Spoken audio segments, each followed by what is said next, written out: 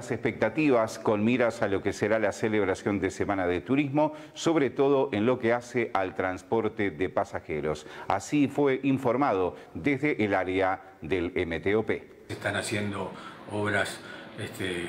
récord en cantidad de kilómetros que se están desarrollando, al mismo tiempo que desde el área de transporte eh, eh, existe hoy en día un volumen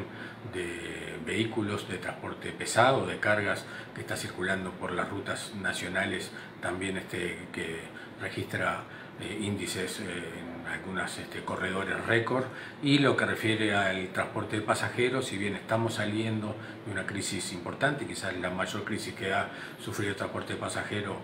en su historia debido a la pandemia, eh, bueno, ahora con una reactivación del sector y apostando desde el Ministerio a que esa reactivación venga de la mano de eh, la posibilidad de empezar a descentralizar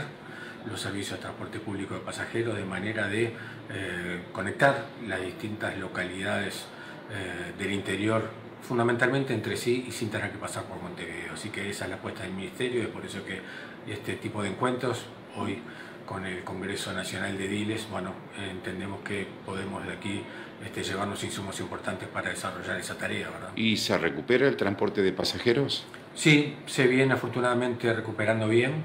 Eh, estamos hoy en día, no hemos llegado a los niveles de ocupación previos a la pandemia, me refiero eh, al 2019, pero sí eh, con números que para tener un dato más o menos concreto. En la semana de carnaval hemos registrado